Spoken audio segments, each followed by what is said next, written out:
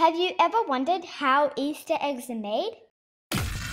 Well, we can find out in this next video.